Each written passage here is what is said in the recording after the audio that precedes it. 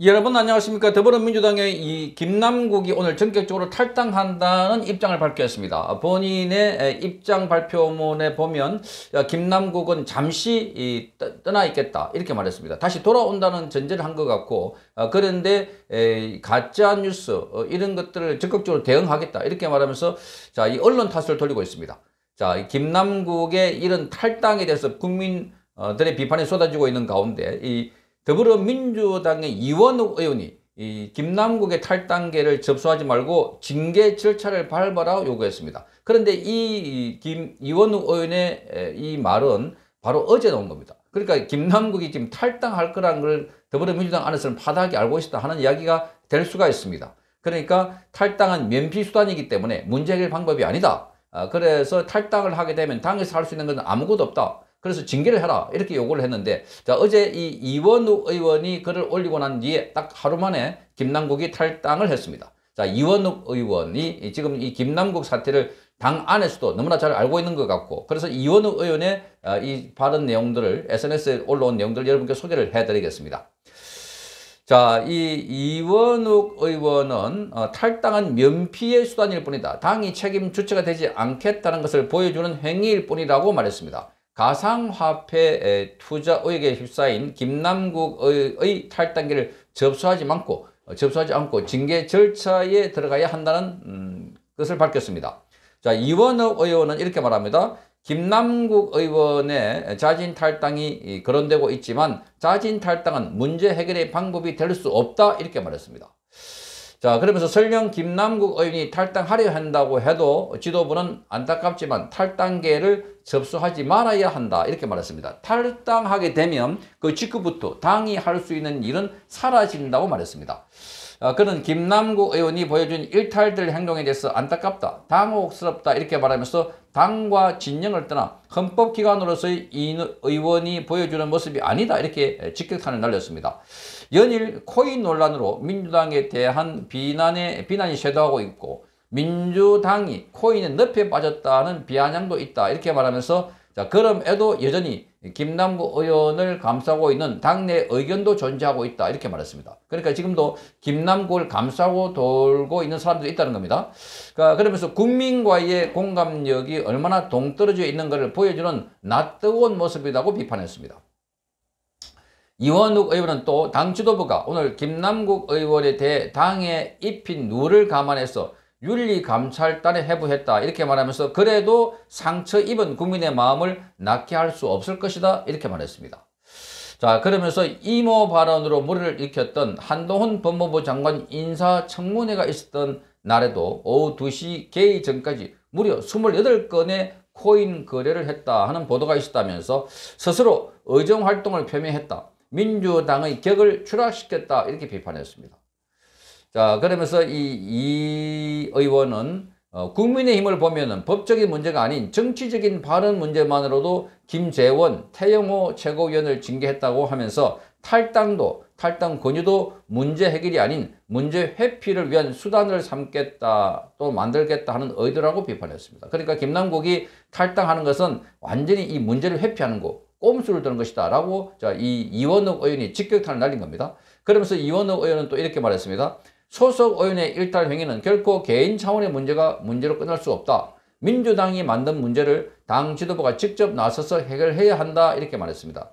그것이 지도부의 존재 이유라고 말했습니다. 그러면서 어, 지도부가 김남구 의원에 대한 전면적인 징계 절차를 밟으라고 요구했습니다. 징계 절차에 들어가는 것을 출발점으로 전면적 쇄신의 길에 나서야 한다 이렇게 말했습니다. 자, 김남국 의원 역시 당의 절차에 따라야 하고 그것이 곧 마지막으로 남은 민주당원으로서의 책임임을 명심해라 이렇게 요구했습니다. 자, 이 그러니까 지금 여기 탈당한다는 게 끝이 아니고 바로 지금의 징계를 들어가야 되고 이 징계가 바로 민주당에 바로 세우는 시발점이라는 겁니다. 그러니까 징계하라는 것은 김남국이가 어, 지금 코인 거래에서 많은 문제가 있다는 것을 안에서도 지금 공유가 되고 있다는 겁니다. 그리고 김남국도 본인은 아무 문제 없다 해놓고 탈당한다는 것 자체부터가 꼼수라는 겁니다. 문제가 없는데 왜 탈당하는가? 그러니까 돈 받고도 돈 봉투 돌려놓고도 탈당하면서도 이 했던 송년길 말들이나 똑같은 말들이 아닌가 이렇게 보여지는 겁니다. 나아가서 어, 이원욱 의원은 이렇게 말합니다. 민주당 전체 의원에 대한 전수조사를 즉각 실시하라. 공직자 재산 등록에 코인을 포함시키는 것으로 올해 12월 말이 기준이 될, 것이라, 아, 될 것이기 때문에 실효성이 없다고 말했습니다. 1차적으로 등록 거래소뿐만 아니라 해외나 국내 비등록 거래소까지 포함해서 코인 지갑을 갖고 있는 의원은 당에 자진 신고하도록 하자 이렇게 제안했습니다. 그러니까 지금 이 등록 거래소뿐만 아니라 비등록 거래소까지 있기 때문에 자, 이 본인들이 신고하지 않으면 모르고 엄청나게 많다 하는 이야기도 나오고 있습니다. 그러면서 자진 신고를 회피한 의원이 나중에 코인 투자가 밝혀질 경우에는 공천 배제 등의 강력한 조치를 취할 것이라는 지도부의 강력한 결의도 보여줘야 실효성이 있다. 이렇게 말했습니다. 자, 그런데 이 민주당, 어, 지금 여기 이 김남국이가 바로 이거 어제 올리려니까 오늘 전격적으로 탈당을 해버렸는데 오늘 오후 4시에는 자, 이 건과 관련해서 자, 오후 4시에 의, 최신 의원총회가 열립니다. 전당대회 돈봉투 살포와 관련해서 또는 김남국의 코인 투자와 관련해서 자, 의총을 열어가지고 오늘 관련된 내용도 보고할 것을 알려주고 있습니다. 자, 그런데 지금 김남국의 탈당을 해버린 것입니다. 자, 그래서 지금 음, 이 건을 보면 어, 지금 의도적으로 의도적으로 꼬리 자르기 하려고 그래서 이 민주당 지도부도 상당히 문제가 많다. 뭐 문제가 많은 게 아니고 민주당은 자체가 정당이 해산돼야 한다 하는 생각을 저는 개인적으로 갖고 있습니다. 정당이 아니다. 이거는 범죄자들이 모인 범죄자들의 속을 갖다 우글우글 곳곳에 코인, 돈봉투, 뭐 이렇게 대장동, 백현동에다가 뭐 노웅래, 이정근 거기 모이는 사람들 보면은 비리 백화점입니다. 비리 백화점. 그렇게 당 대표가 저러니까 밑에 내려갈수록 더욱더 심하다 하는 건데 자 민주당의 당규에 따르면은 탈당은 탈당계를 제출하게 되면 바로 처리가 어, 됩니다. 다만 당규상의 징계 혐의자가 징계를 피할 목적으로 탈당을 하게 되면 제명하도록 되어 있습니다. 그리고 탈당 원명부에 징계를 회피할 목적으로 탈당한 자 이렇게 그렇게 기록하게 되어 있습니다.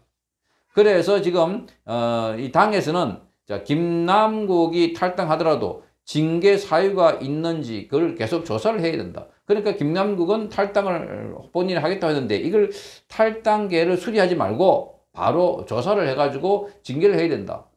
이렇게 나오고 있습니다. 그리고 검찰과 경찰이 지금 김남국 사건에 대해서 수사에 들어갔는데 빨리 수사에 착수해야 된다. 그 서울 남부지검과 영등포 경찰서가 각각 수사에 하고 있습니다. 이미 남부지검은 수사를 하고 있던 주체였고 그런데 지금 세 번째 영장을 발급받아가지고 어, 아, 영장을 청구할 것으로 이렇게 전해지고 있습니다. 그리고 영등포 경찰서는 시민단체 고발로 인해서 김남국에 대해서 수사가 지금 진행되고 있는 이런 상황입니다. 그렇다면 어, 검찰, 경찰 수사와 함께 더불어민주당 안에서는 김남국에 대해서는 그 탈당이라는 꼬리를 자르지 말고 징계를 해라.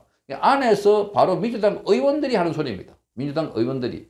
자, 그러니까 김남국 사태는 만약에 여기서 탈당 처리한다면 민주당 안에서도 이 코인 로비를 받은 사람이 엄청 많겠구나. 지난번에 P2E 과세 유예하자, 뭐 P2E 관련돼서 이런 걸 규제 완화하자, 이런 이야기가 나왔을 때부터 이미 이재명을 포함한 상당수 사람들이 로비를 받았을 의혹이 제기됐는데, 자, 그렇게 김남국 혼자 해먹은 게 아니고 여럿이 해먹지 않았을까, 아, 이런 의혹이 있어서, 아, 그래서 김남국에 대해서는 탈당하지 말고 징계하라 하고 이원욱 의원의 목소리가 더 크게 울려 퍼지고 있는 상황입니다. 성창경 TV였습니다.